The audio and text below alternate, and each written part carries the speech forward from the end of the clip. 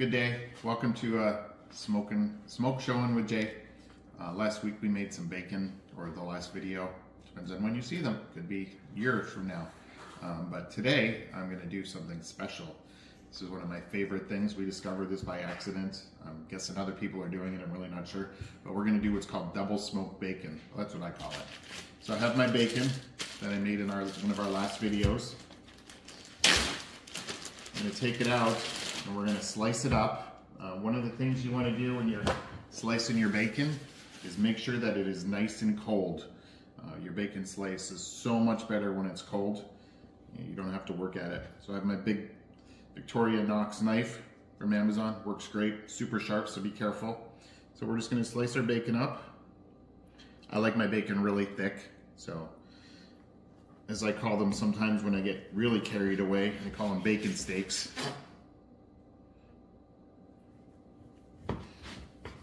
We're gonna cut these up.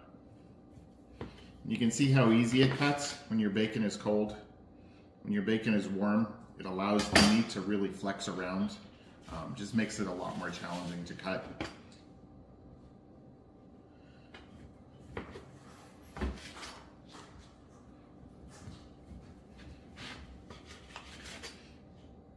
Sorry, I'm not looking at the camera, but I don't want to cut my finger off or slice it up, one of the two. Because I don't think blood and bacon would be taste that good. Never tried it, but I'm gonna say no, especially if it's my blood from my finger.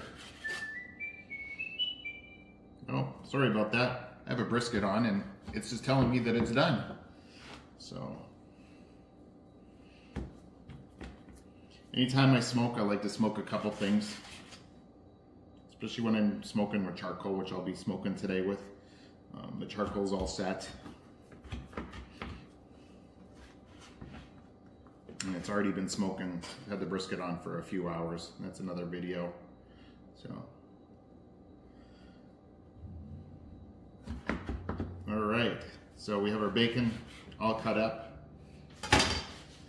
So now what I'm gonna do is I'm just gonna lay it out into strips because I'm gonna throw some seasoning on it.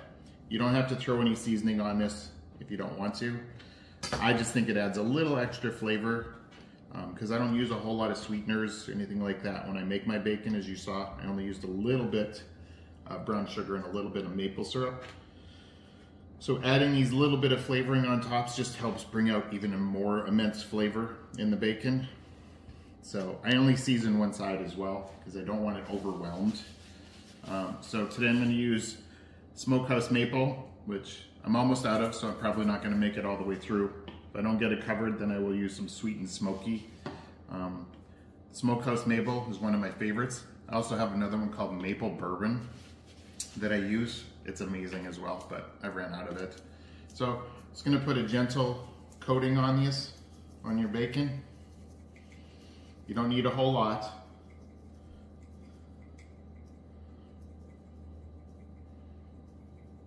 Oh, I can smell the maple in here. It smells amazing.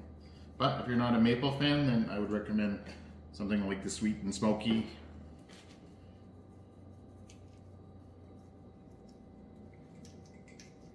All right, so now that we have these all seasoned, and I'm out perfect.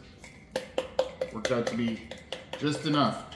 So we're good. So I'll have to add that to my grocery list. Um, actually, I usually buy this at Sam's Club. Uh, they just haven't had it for a while, but you can usually get a really big container there for like five bucks. Way cheaper than $3.50, $4 at your local grocery store. All right, so we're ready. We're gonna take it out and put it on the smoker. All right, so we're ready to get our bacon on the smoker. Um, our smoker is ready because I smoked a brisket earlier. Um, I've added some maple wood because I want that little bit of sweet flavor. So we're gonna take our lid off. You can see we're getting some really good smoke. Now all you do is take your bacon strips and put them on. I put the seasoning up when I put it on because I feel that just allows it to absorb in. Anytime you flip them over, you lose half your seasoning because it just falls off. So I'm going to put these all on. And these are going to smoke for about an hour to an hour and a half. And I will generally flip them once during the smoke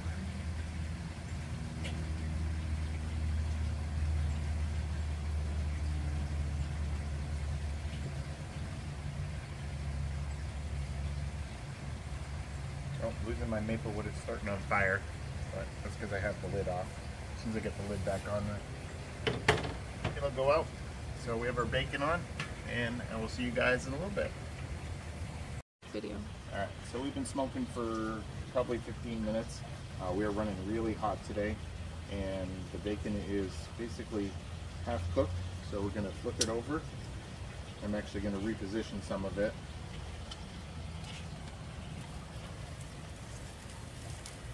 These are the edge pieces. They're not burnt. That's just what they look like. So, but you can see we're getting some nice color, some nice lines on here. But I am going to move some of these around. These ones are a little bit closer and they're getting crisped up real quick. So we're going to move them far away from the heat as we can. And we're going to move some of these other ones that aren't quite getting there. This was a really thin piece, so you can see that it's cooked almost all the way through already. So, the risk of smoking, that's part of the game is you have to watch your smoke. You have to watch what you're smoking, especially things like meat this thin, because it doesn't take long for it to get cooked up. So, alright, I'll see you guys in a few more minutes. So I just pulled these three pieces off. They were the very thin pieces um, of bacon. So I pulled them off a little early because they were starting to char up a little too much. Um, I do like charred bacon, but this one's definitely way too charred. Uh, they've been on for 45 minutes. The other pieces will be coming off shortly. Um, I'll see you then. So we're at an hour. We're gonna check this out. Oh yeah, everything's cooked.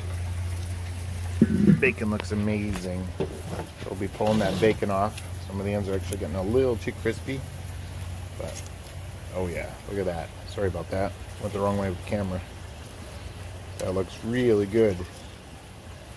So I like my bacon crispy, but those ends are a little crisp. That piece looks good. Oh yeah. It's looking mighty fine.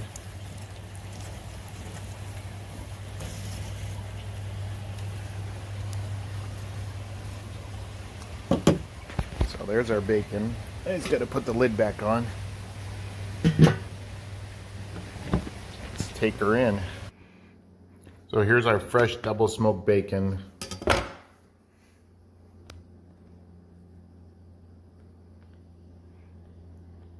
don't have the greatest camera, so I apologize. Try and get a little bit better light on it. I'm just using my phone. Eventually one day I'll have a real camera, but till then, I have to use my phone. So I'm gonna slice it open. You can see how juicy it is, I hope. See all the nice glistening juice. Mm-mm-mm. So I generally don't do this and eat things on camera because every person I've seen on YouTube says everything they make is the best. But this should probably be one of the most amazing things you will ever try. So it's really hot, but I'm still gonna give it a shot. Mmm. Nice and tender on the inside. Nice and crunchy on the outside. Mmm, that's good. Like I said, you won't see me doing that very often, or hear me doing that very often, because every person that I've ever seen on YouTube says everything they make is the best. And you know what? In reality, there's going to be times where you screw up and you wreck things and they just don't taste good. So um, that's it for today. Thank you all. Thanks for watching Smoke Showing with Jay. Peace, love, and barbecue.